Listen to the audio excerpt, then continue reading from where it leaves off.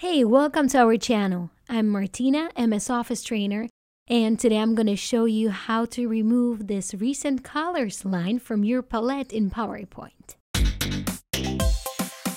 When you create a template in PowerPoint, sometimes while trying to find correct color palette, you're just playing with some colors to get the best results.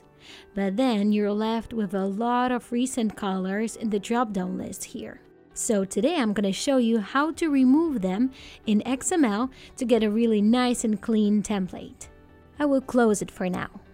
We're going to modify the code in XML. If you're not familiar with that topic, please watch our other video, Intro to XML.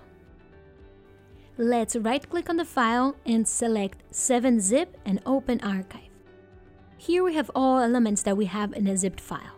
Then double-click on the PPT folder select presProps file and click Extract. Click OK and close the window. As you can see, we have now the XML file here in the folder where was our PPT file. Right-click on it and select Open with Code. Great! Let's right-click and select Format Document or press Alt-Shift and F to have a better preview. Now we want to find this part of the code and as you can see here, we have three colors in the recent colors palette.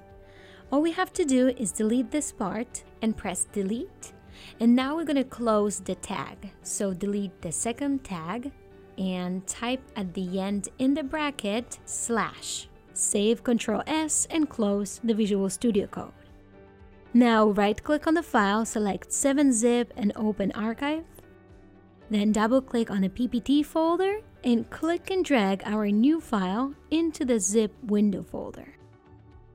Yes, and it's done. Okay, let's check it out if it worked. Let's close this window and now we double click on PowerPoint. I'll select any object so then I can open this drop down list and great, the recent color line disappeared. Uh, but don't worry, it's still in the code, so if you would start modifying some colors, you will create a new recent colors. Thank you so much for watching. If you have any questions, leave your comment below, and if you liked it, don't forget to subscribe.